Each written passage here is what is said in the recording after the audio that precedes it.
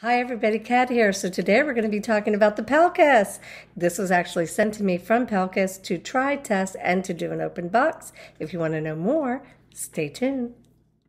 So let's go from this to this with the Pelcas today. So doing a little bit of a voiceover, this is the actual box that I received. It's a beauty airbrush system. It is from Pelcas. And they did send it to me to test and try and to do an open box. So it's an HB06, it's a multi-function spray. So I'm just kind of going through the box, opening it up to show you what's inside. It is housed very nicely. Everything has this little spot so that nothing is really moving around in the system.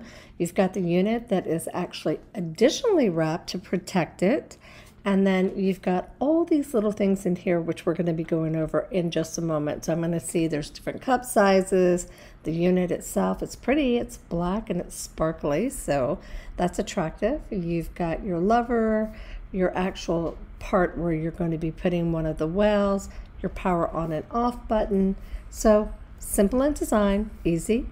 And that I'm not exactly sure what it is yet, but we'll come back. All right, so that's one of your cups. So it looks like you've got a couple interchangeable cups right here to pick from, depending on what you want to use it for. So looking at the cup design, you can see it's nice. It's got a lid on it. You've got one that's open as well. But one thing I want you to notice is the design at the bottom. You see right here at the top of this unit, you've got two open slots. And so basically what you're going to do is you're going to be putting your well or your cup right in there. You're going to align it up, put it right there into the center, and then you're going to secure it by twisting it. Now, if you're having a hard time twisting it, I finally figured out what the other piece was for, but I'm going to show you in a second, but I want you to look at the spray. So that's just water, and I've got water just coming out. Hopefully you can see it. It's a nice fine mist. But going back to the cup, if you're trying to secure it, this little gadget right here will help you actually twist and secure it into place.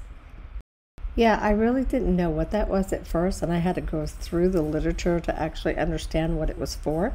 But once I read through the literature, I found out exactly what it was for. Some people have a hard time actually twisting that into place.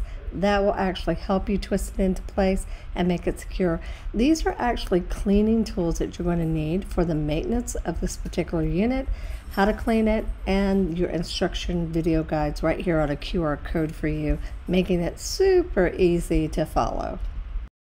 The top of the unit actually twists and it pops off so when you're doing your deep cleaning this is what you're going to do. The video will actually show you how to align it back up. It's pretty simple, very easy to do, not hard at all. And of course if you're following the video and you have the tools, makes it super easy. So what were my final thoughts about the Pelcas unit? If you're using makeup that is very thin in liquidity, this is a great unit. So if you're using it for foundation, blush, contour, yes, super simple, super easy.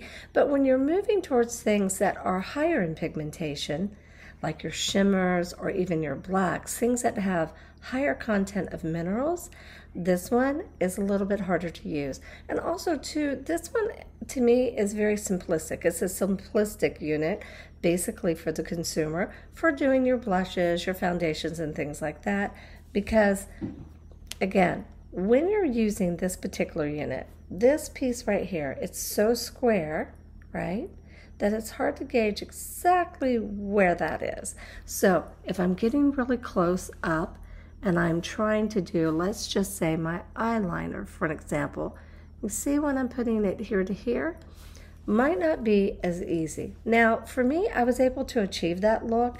Number one, I've got lever control, and number two, I was able to figure out exactly where that point was. But for a novice or for a person who's looking for a more simple airbrush to use, then that becomes a little bit harder. So even though it's a little bit harder, doesn't mean that you can't achieve the looks, but again, you got to own that lever control. That's so super important when playing with this unit and doing your makeup.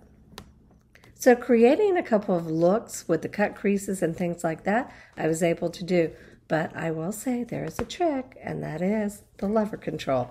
Not easy to do. Again, just understanding where this point is here. But when you're trying to do cut creases and things like that, just not for a novice, not with this particular unit. But you can do it. It is possible. And so here are a couple of pictures that I've put together so that you can see when it comes to cleaning the unit, that is equally important. You want to make sure that you follow the video that Pelcas has provided. They've got two QR codes, so it links you straight to the video. It walks you through how to do it.